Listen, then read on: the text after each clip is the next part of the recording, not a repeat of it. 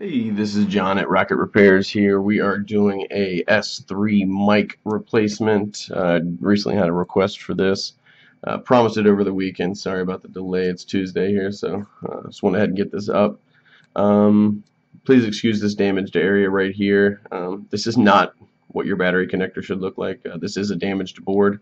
However, I will show you exactly how to replace the microphone. We replace the microphone all the time. Uh, many times when you actually replace the port here, um, if you get flux around this area, if it gets any kind of liquid in there, um, you know, it, it just pretty much ruins the mic. Um, so basically, I'm just going to show you how to take this mic off, and we're going to put a new mic on, and uh, that'll be it. Alright, so let's go ahead and get started here. Um, first, I'm going to take my Kapton tape. See it underneath here. I'm going to wrap that around the board, cover up some vital areas. I don't want all these other chips and resistors to get heated up. So I'm going to start by doing this. Just making a wrap around there.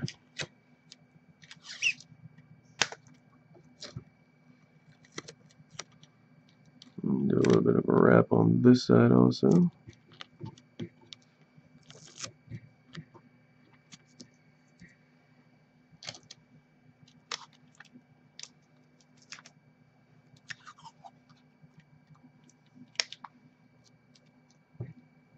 Alright, so I'll do one across here. Sorry. This isn't the prettiest one I've ever done. And I'll put one more across there. Okay, so you can kind of see pretty much everything here. Actually, let me go get my tweezers for one second.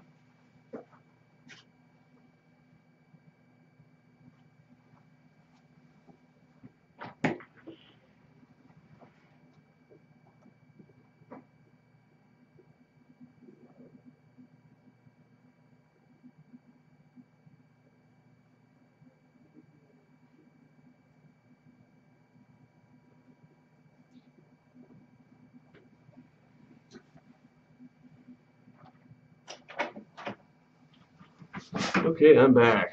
Got my tweezers, as you can see here. Definitely need these. Um, okay, so you can see the microphone here. Um, if you're replacing the mic, um, you really don't need to worry about flux getting in it. So I like to take my flux. I use an MG Chemicals flux. Um, you can see the writing is a little worn off on this tube.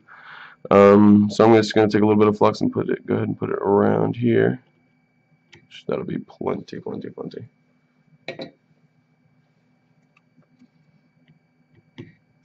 Okay.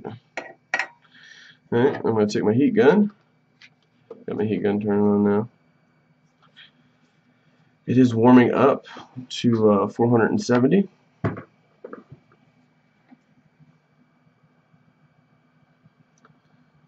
we're at 300. Slowly moving up, guys. Guys and gals. Sorry for all you female repair technicians out there.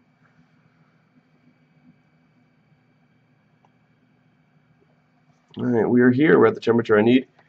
Alright, I'm going to go ahead and uh, turn my blower up to about three and a half, four. Uh, I don't like turning it up too high anytime I'm doing any kind of uh, small board work. Um, you'll blow chips all over the place if you got your uh, the airspeed up high. so this should be pretty quick and simple.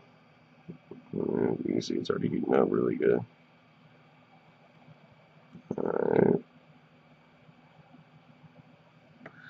Alright. You can see I've taken that one off.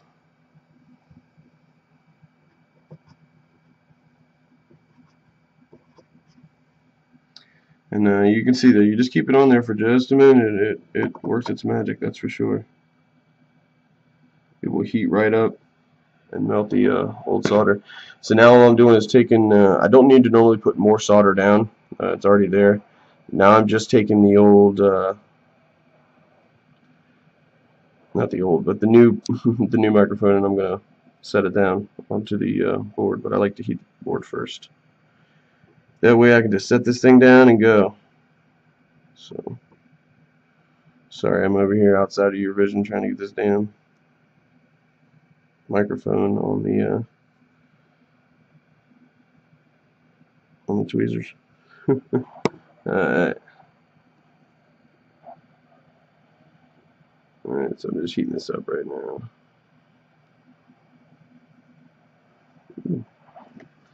Alright. Sorry guys, give me one second. Let's get this damn thing straight.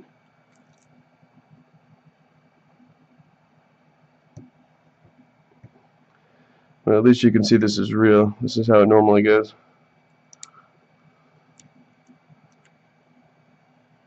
Seems like every time I do a video lately, it's all the shit happens. Alright.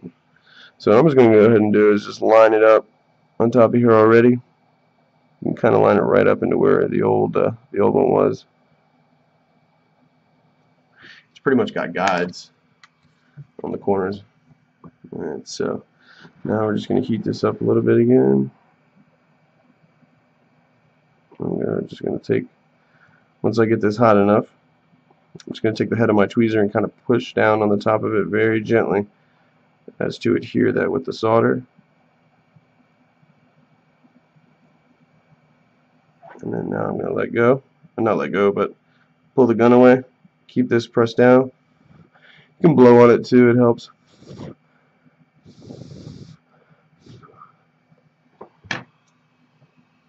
Alright. And you can see the new port is already down. And it's as simple as that.